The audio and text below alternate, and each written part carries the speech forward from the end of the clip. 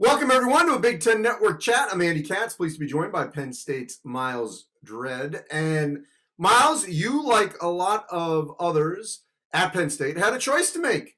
Do you stay? Do you go? Uh, some decided to stay, others decided to look elsewhere when there's a coaching change. What went into your decision to return to the Nittany Lions? Um, I committed to Penn State July 10th, 2016.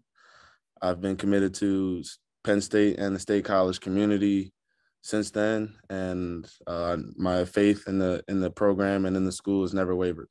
So I'm um, absolutely loyal to Nittany Nation. So that's great because that's not always the case, uh, and everyone has their own decision to make.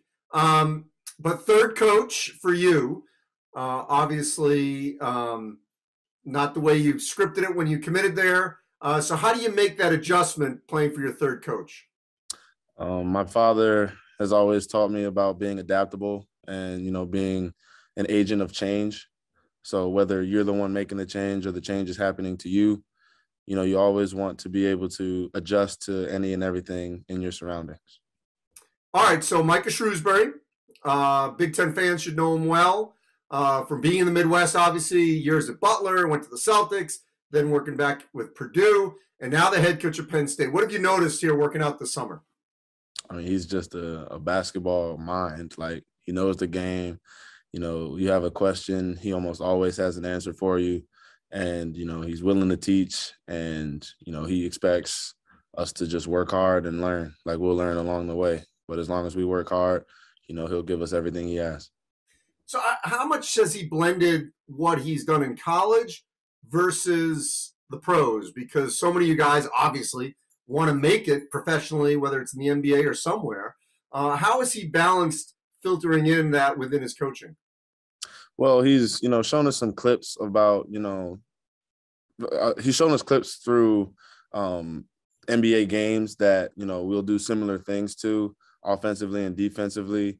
Um, a lot of pace, a lot of tempo that we want to play at, you know, comes at that level but you know he's just you know he's always talking about being present and you know working about or worrying about right now.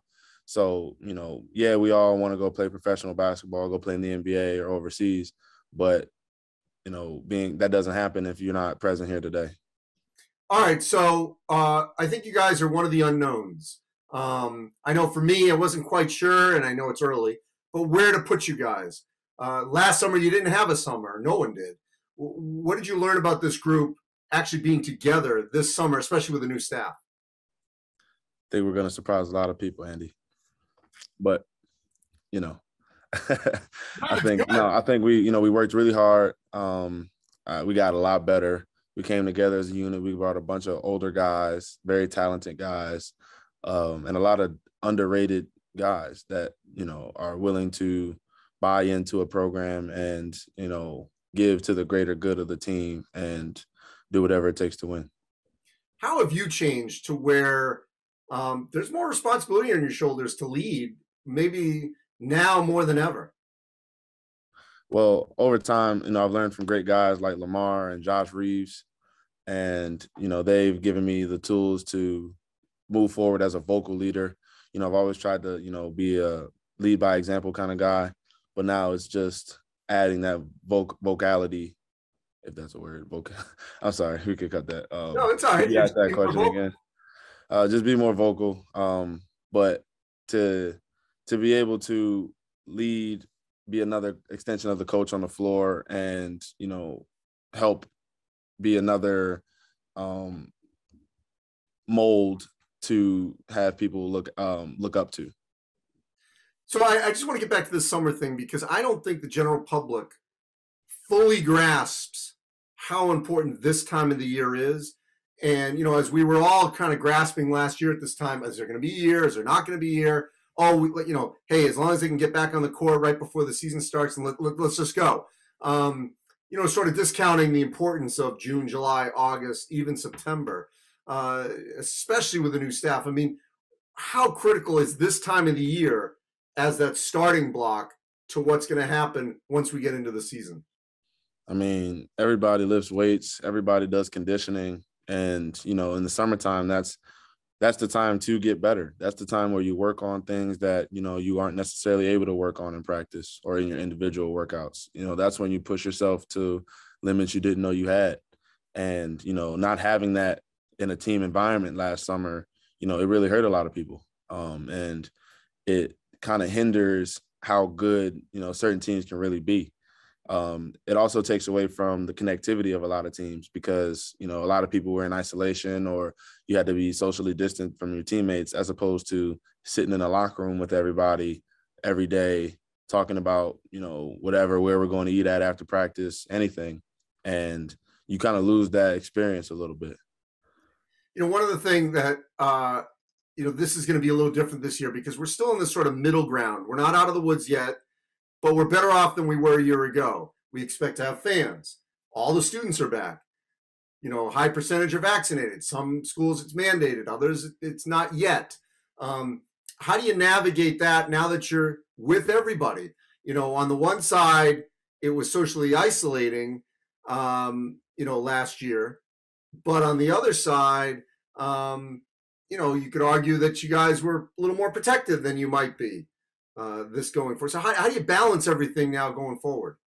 You know, just you know, we we just try to be smart. You know, we mask up. You know, when when we know we're going to be around a lot of people. You know, in our school buildings, we have to wear masks. Uh, masks, but yeah, you know, it's just about you know taking the extra precaution just to not only protect yourself but protect your teammates and the rest of the program. So, you know, just be being diligent and thinking about um, others as well. All right, last two things I'll let you go. First off, how are you going to be better on the court this season? Um, I'm going to be more versatile. I'm going to, you know, be a leader, and you know, I'm going to do I'll take, go that extra mile to do whatever it takes to win. Um, and I'm I'm very excited. And I don't need you to. I mean, no one should be offended if you don't say their name, but I got to have at least one name. You're there, I'm not. You say you guys going to be surprised who's someone we're not talking about that you know has had a really good summer and hopefully translates into the season. Young man by the name of Greg Lee. He's going to surprise a lot of people this year. How so? I mean, he's he's he's been underrated for his entire career. Um, he's a he's a he's a great guy, great fun to be around, and he works really really hard, like really hard. And I'm ex- very excited to play with him. All right, awesome. Myles, I appreciate it. Hopefully, see you in person this season rather than in this format. Appreciate it. Thanks, Thank Andy. you. Thanks, Andy.